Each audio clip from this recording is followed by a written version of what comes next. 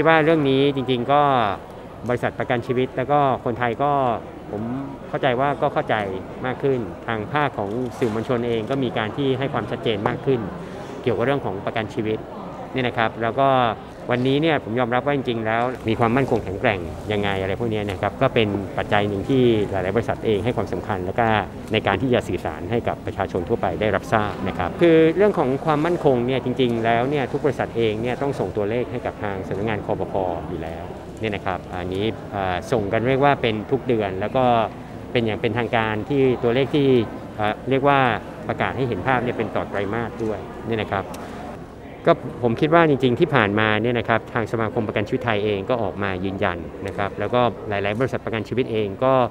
ออกมายืนยันให้ความสำคัญจริง ๆ ว่าให้เกิดความมั่นอกมั่นใจได้ ในการที่บริษัทประกันชีวิตเอง แล้วถ้าเกิดว่าผู้ประกันได้ซื้อในเรื่องของความคุ้มครองทางด้านของสุขภาพเองเนี่ยนะครับก็